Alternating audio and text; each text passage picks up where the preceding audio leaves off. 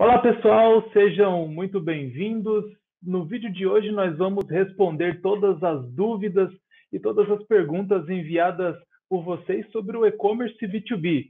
Meu nome é Itamar Alexandre, eu atuo como gerente de contas aqui na Mercos e hoje, para responder todos esses questionamentos, eu conto com a Scarlett Oliveira, que é gerente de e-commerce B2B aqui na Mercos e é uma fera sobre o assunto. Oi, Scar, tudo bem? Podemos ir direto para as perguntas? Oi, Itamar, tudo ótimo. Obrigada novamente por estar aqui compartilhando. É um prazer.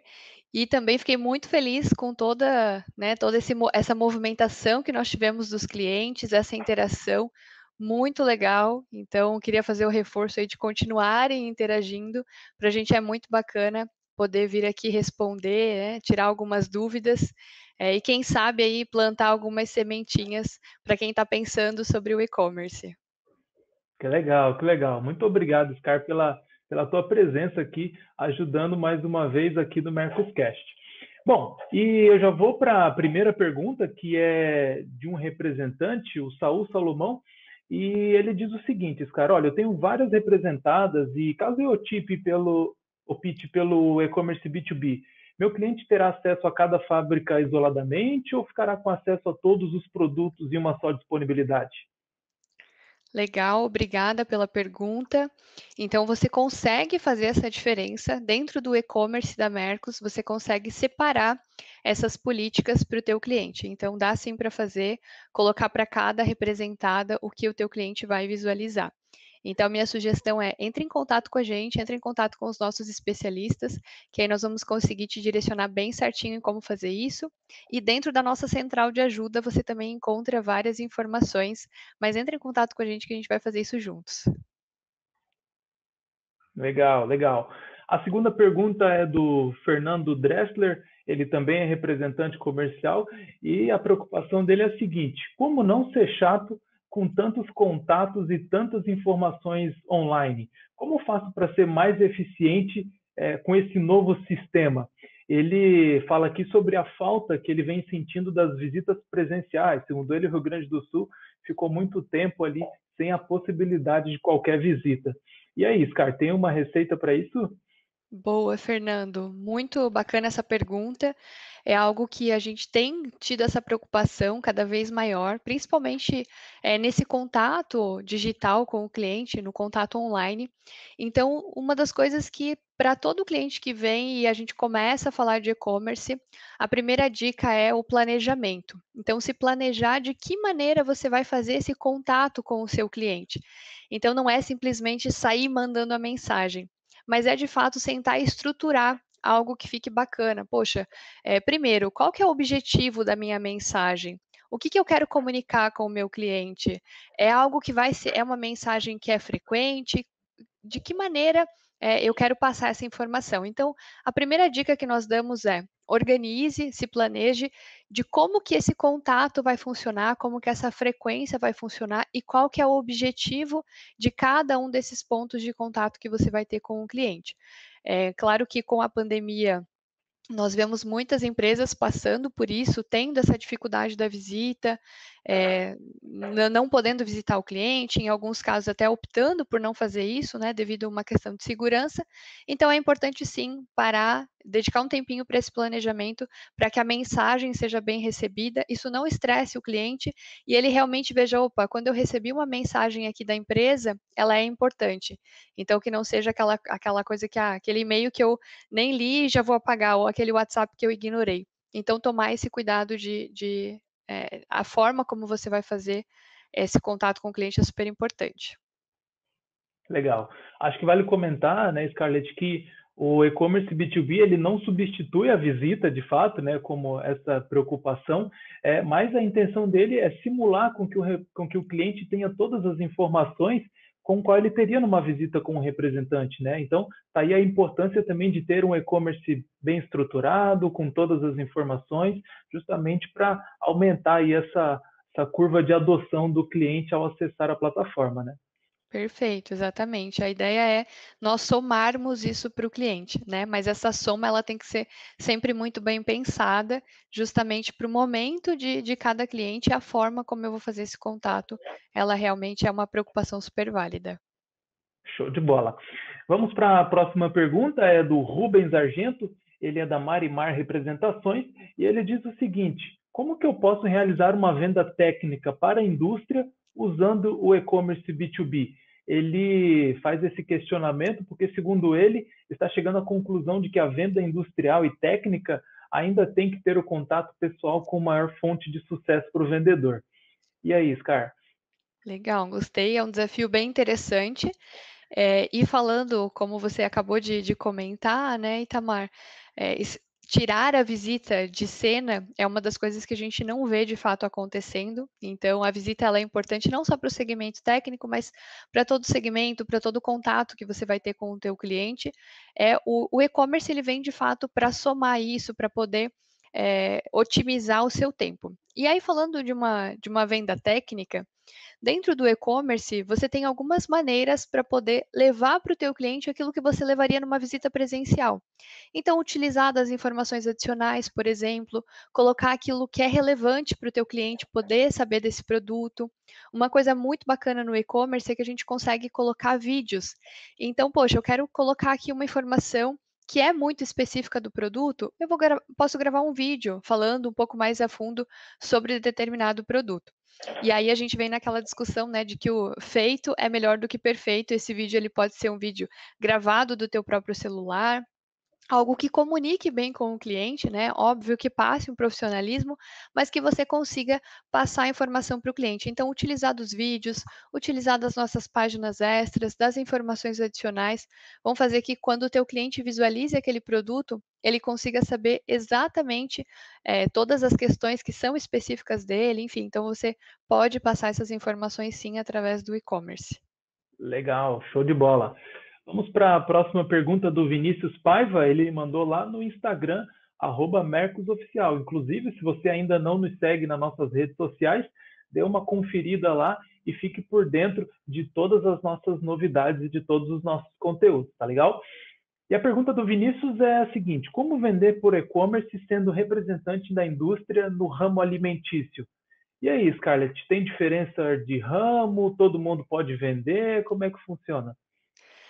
Sim, todo mundo pode vender, eh, e obviamente existe uma diferença de cada segmento, né, então cada segmento vai ter o seu ponto específico. E quando nós falamos de eh, venda de produto alimentício, uma, uma dica bacana é você ter várias fotos, assim como qualquer outro produto, mas no alimentício, onde você possa focar, por exemplo, no rótulo do produto, por exemplo, ter mais de uma foto para esse produto.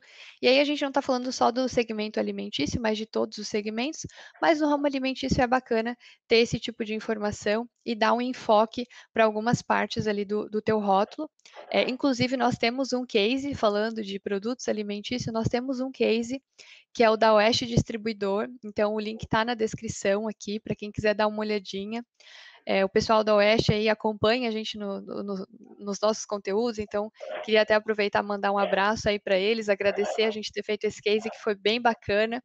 É, eles são né, o, o, case de sucesso justamente porque tem funcionado, eles têm é, feito um trabalho muito legal em cima dos produtos, da, da, forma como eles têm divulgado. Então, dá uma olhadinha no, no case deles que está aí na descrição. Com certeza você já vai conseguir tirar algumas ideias legais para colocar no teu e-commerce. Legal. E assim como a distribuidora Oeste, se você também tem usado o e-commerce e tem funcionado, deixa um comentário aqui nesse vídeo dizendo o que, que tem dado certo, como tem sido a sua experiência aí, porque a gente adora saber o que, que a nossa audiência está achando também dos nossos conteúdos, tá legal? E vamos para a próxima pergunta. É, na verdade, é um pedido de exemplo do João Victor, ele também mandou via Instagram, é, e ele pediu exemplos do ramo moveleiro. Será que vocês atendem o ramo moveleiro também? Tem alguma, alguma dica para esse segmento? Legal. João, eu vou pedir para você fazer o contato aí com os nossos especialistas. Nós temos sim diversos clientes desse ramo, então nós podemos compartilhar com você, é, trazer alguns links, né, trazer alguns exemplos ali dos clientes que já utilizam, que fazem esse trabalho muito bem feito com, com o e-commerce. Então, entre em contato com a gente, por favor, que a gente vai poder é, compartilhar com você vários desses, desses clientes aí que já estão utilizando muito bem o e-commerce. Bom, agora uma pergunta bem legal que veio do Jefferson Costa, ele é da Qualistal Representação, e ele diz o seguinte: Eu trabalho como representante de uma indústria salineira há 17 anos, só que os preços estão bastante voláteis. De 10 clientes, temos 10 preços diferentes. Qual seria a forma mais fácil de se adaptar na plataforma do e-commerce B2B para que possamos fechar vendas através da plataforma? Legal, então isso a gente também consegue trabalhar dentro do e-commerce, né? Você ter os preços de cada cliente. Então, por exemplo, se eu como cliente da tua, da tua empresa fizer um acesso, eu vou visualizar meu preço. Se o Itamar como cliente, por exemplo, fizer o acesso, ele vai visualizar o preço dele. Então, a gente consegue fazer essa diferença aí é, de precificação por cliente. Então, se você tem tabelas separadas por cliente, não tem problema, a gente consegue fazer essa configuração é, lá dentro do e-commerce. Então, de novo, entre em contato com os nossos especialistas, pode dar uma olhadinha na nossa central de ajuda também, que nós explicamos ali bem certinho como fazer essa divisão. E vem conversar com a gente que é, com certeza vão ter outras dicas aí para você utilizar cada vez melhor o teu e-commerce. Show de bola. E vamos para a nossa última pergunta, foi do Danilo681, ele mandou lá para a gente via Instagram também. A pergunta simples, porém né, muito importante. E aí, como começar? Scarlett, a gente tem uma receita pronta? Como é que funciona esse negócio aí para quem nunca ouviu falar sobre e-commerce B2B? Legal. É, a gente até comentou isso num, num, outro, num outro episódio do Marcos Cash, né? Que todo mundo quer essa receita, né? Essa receita mágica de ai, como que eu faço o negócio funcionar. E claro, isso é muito específico para cada segmento. É, e aí, conversando com a gente, a gente vai poder direcionar isso de uma forma bem bacana, entendendo a tua realidade, mas aí passam por alguns pontos que são básicos e todo segmento precisa ter, que passa por essa parte de, de planejamento, de como é, que eu vou implementar isso, o e-commerce dentro da minha empresa, quem que vai ser o responsável? Então, isso é import, importantíssimo quando a gente fala, né? Ter um dono para as coisas. Então, quem vai ser o responsável desse, desse projeto para você colocar um e-commerce para funcionar? de que maneira você vai atender o seu cliente. Então, poxa, será que eu estou abrindo mais um canal? Como que eu vou, como que eu vou atender o cliente nesse canal?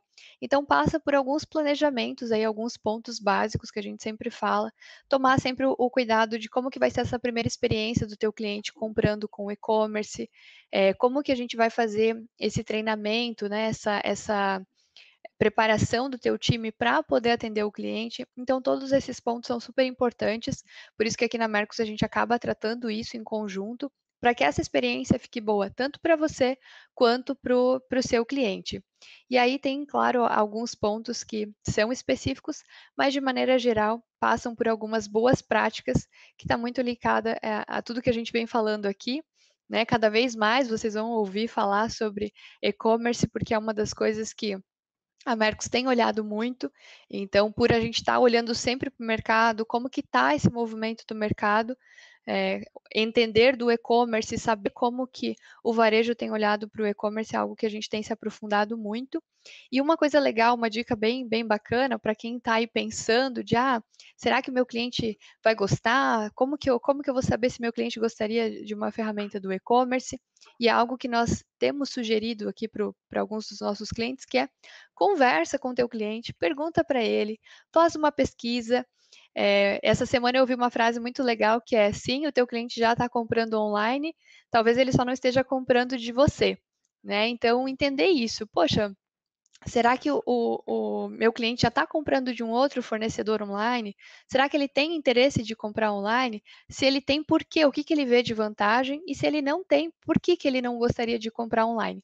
Então, isso é uma das sugestões que a gente tem passado. Faça a pesquisa com a tua base. Eu tenho certeza que você vai se surpreender com as respostas. E aí, quem sabe, abrir né, um horizonte diferente, surgir ideias, porque isso com certeza é, já está na cabeça do teu cliente, então vai lá, pergunta para ele. Essa eu diria que é a, a diquinha número um aí de como começar, converse com o teu cliente, que com certeza vão surgir aí uma, uma explosão de ideias. Com certeza, show de bola. Nada como manter o cliente no centro das tomadas de decisão, né? Sempre estar tá consultando o cliente é extremamente importante. Bom, pessoal, por hoje é isso. A Scarlett também participou de um episódio completo sobre o e-commerce B2B, que traz várias dicas e, e, tratando de vários outros assuntos de uma forma bem prática. Então, o link desse episódio, se você ainda não conferiu, vai estar aqui no link da descrição do vídeo. Scarlett, muito obrigado por esse bate-papo rápido, mas que eu acredito que está sendo muito importante e vai conseguir esclarecer muito as dúvidas aí da nossa audiência. Eu que agradeço, Itamar, e deixo essa provocação aí para você, gestor, representante, que ainda não está olhando para o canal digital. A hora é agora, né? Não é amanhã, não é o ano que vem, é realmente conseguir colocar esse canal digital ainda em 2021. A gente tem feito é, esse esforço aí dentro da, da Mercos para levar isso para o nosso cliente, né? Então, se você é cliente Mercos, você ainda conta com o benefício de ter a integração, então não precisar ficar é, fazendo recadastro, né? Ter esse retrabalho aí de informação, tudo aquilo que é do teu força de vendas já vai direto para o teu e-commerce, então isso facilita muito. Estou ansiosa pelos contatos de vocês, venham conversar com a gente, que eu tenho certeza é, que nós vamos conseguir ajudar aí toda essa parte do e-commerce. Legal, legal. Muito obrigado, Scar. Nós ficamos por aqui. Fique de olho na, no nosso canal aqui do YouTube. Se inscreva se você ainda não é um inscrito, para que você não perca nenhuma das nossas novidades. Excelentes vendas aí para vocês e até mais.